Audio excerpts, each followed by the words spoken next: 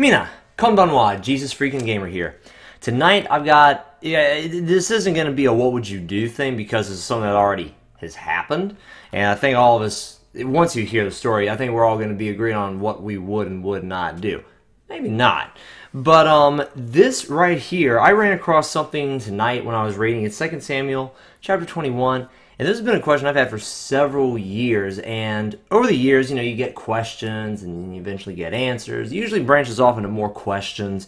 Well, this one, this is a question to which I have no answers whatsoever. Right now, this story, it has been a question mark in the back of my mind for a long time. I'm like, okay, I don't understand that. I'll have to look into that one day. I've been reminded of it today, and I still don't have any answers. I didn't do a Google search before doing this video, so I'm still in just a giant, I have no idea what to think of this mindset. Let me just read you the verses, and I think it'll become abundantly clear very quickly why I'm just like, huh? So 2 Samuel chapter 21, I'm just going to start at verse 1. I'm just going to read. And there was a famine in the days of David for three years, year after year. And David inquired of the Lord. And the Lord answered, It is because of Saul and his bloodthirsty house, because he killed the Gibeonites. So the king called the Gibeonites and spoke to them. Now the Gibeonites were not of the children of Israel, but of the remnant of the Amorites. The children of Israel had sworn protection to them. But Saul had sought to kill them in his zeal for the children of Israel and Judah. Therefore David said to the Gibeonites, What shall I do for you? And with what shall I make atonement, that you may bless the inheritance of the Lord? And the Gibeonites said to him, We will have no silver or gold from Saul or from his house, nor shall you kill any man in Israel for us. So he said, Whatever you say, I will do for you. Then they answered the king, As for the man who consumed us and plotted against us, that we should be destroyed from remaining in any of the territories of Israel, let seven men of his descendants be delivered to us, and we will hang them before the Lord in Gibeah of Saul, whom the Lord chose. And the king said, I will give them. But the king spared Mephibosheth, the son of Jonathan, the son of Saul, because of the Lord's oath that was between them, between David and Jonathan, the son of Saul.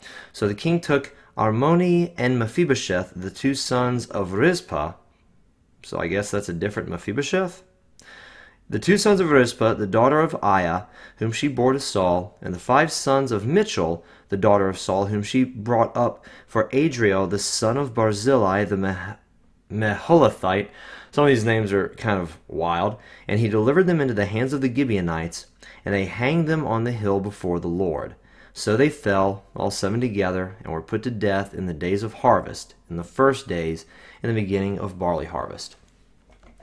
I, I, the reason I'm not saying what would you do, I think all of us would agree. We would not kill those men. The men of Gibeah said, we were not going to ask you to kill anyone for us. And they said, we're not going to ask you to kill them for us. Deliver these men up to us that we may hang them. So, yeah, you don't kill them, King David. We'll kill them ourselves. What? How are they responsible for what Saul did? How is that possibly just in the sight of David? How is that just in the sight of God, more importantly? If this had been just a story, that you know David had done this thing. I could excuse this as a, a mistake that David did. Whoopsie poopsie, moving right along, and then to cap off the entire thing, go over to verse 14. Um, at the very end of verse 14, and after that, God heeded the prayer for the land. So, God Himself, He inquired of the Lord. The Lord answered him thus, and at the very end, the Lord heeded this prayer. What? And the reason I'm sharing this is because I want to be open and honest with you guys about my faith and my questions. And I'm not saying this to tear people away from the Bible or tear people away from Jesus or make people think, oh, well, the Bible's chock full of errors. The Bible has tons of mistakes in it. There are things that I question, and there are definitely some typographical errors. And that alone is an error. That's something wrong, and it needs to be dealt with. And the thing is, 99% of the questions that come up have answers and very good ones. This one I have no good answers to. So let me know in the comments down below what you think.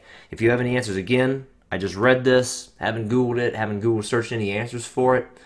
So yeah, let me know what you think in the comments below. Um, feel free to blast me, blast my faith, blast the Bible. Do that if you want to. Um, if you have an argument for why this is understandable and excusable and how this fits in to God's character and David's character at the time. He had repented of his sins at that time. how any of this makes sense, let me know in the comments below. I'd be very interested to hear. I don't want there to be any point in the Bible that we don't question, that we don't look at. And I don't want there to be any time where we're just like, well, I don't get it, but you know, we're just going to keep going forward. Bless God. You know, it obviously must be right because it's in the Bible. While I agree with that statement to an extent, I don't agree with it completely because just within that paragraph that we read there, there are some like name changes, like you read in First Chronicles and in First, Second Samuel. Some of the names are different, so it's kind of like, well, probably a misspelling here and there. And that's the thing. That counts as an error. That counts as a mistake. So while the Bible, I definitely count as the Word of God, you know, man has his fingerprints here because there are mistakes, however small.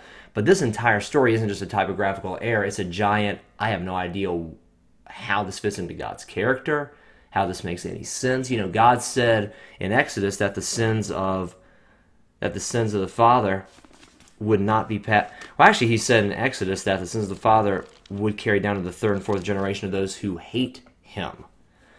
But he says later on in the book of Ezekiel that the children are not responsible for the sins of the fathers, and the fathers aren't responsible for the sins of the children, that everyone will be responsible and bear the wages of their own sin. So this doesn't seem to fit in with God's motif, if you will. I'm not going to lose my faith over it. I'm not going to stop reading the Bible over it. It's a it's one of many questions that I have. Uh, this seems to be this is the biggest question because I just don't know any answer to it. And right now, I would say it's the biggest question in my life. Like, how in the world does this make any sense at all? Because I don't get it. I don't see any potential answer. And I, I've carried on long enough. This has been kind of rambly of me, but I just wanted to, I wanted to be upfront with you guys, and I wanted to challenge you guys and make you guys think. You know, this is not just my faith; it's our faith, or in some cases, the lack thereof. So let me know what you think in the comments.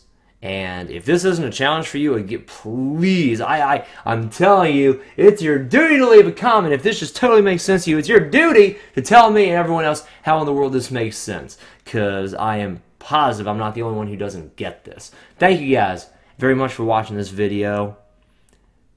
Keep the faith even when you have questions.